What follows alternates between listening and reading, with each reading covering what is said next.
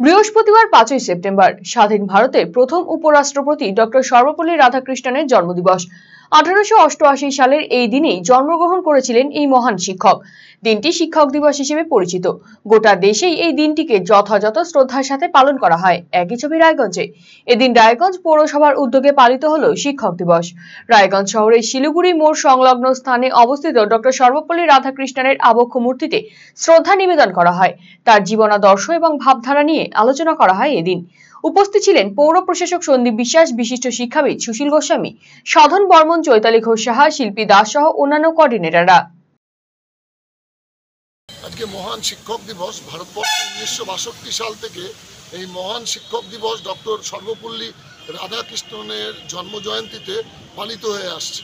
আমরা রায়গঞ্জ পৌরসভা পরিবারের পক্ষ থেকে আপনারা জানেন যে বিদ্যাচক্র স্কুলের দক্ষিণ দ্বারে দু হাজার আঠেরো সালের নয়ই ফেব্রুয়ারি একটি ছেলে অ্যাক্সিডেন্টাল ডেথ হয়েছিল।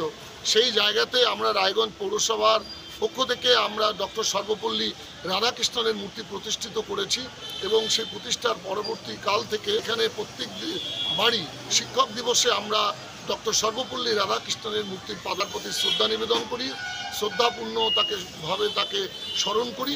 এই শ্রদ্ধাপূর্ণ অনুষ্ঠানের মধ্যে দিয়ে রায়গঞ্জ পৌরসভার মহান শিক্ষক দিবস পালনের কর্মসূচি শুরু হয় এবং তার পরবর্তীতে প্রত্যেকটি ওয়ার্ডে ওয়ার্ডে শিক্ষক দিবস পালিত, পালন করবেন। নিষ্ঠা সহকারে আমাদের মাননীয় এবং মাননীয় কোঅর্ডিনেটরগণ, আমরা বিশ্ববিদ্যালয়ে, মহাবিদ্যালয়ে, বিভিন্ন শিক্ষা প্রতিষ্ঠানে আমরা পৌঁছে যাব রায়গঞ্জ পৌরসভা পরিবারের হয়ে শিক্ষক জাতির প্রতি শ্রদ্ধা নিবেদন করবার জন্য। জবর সেল জবর সেল। এবার এলো সেল সেল।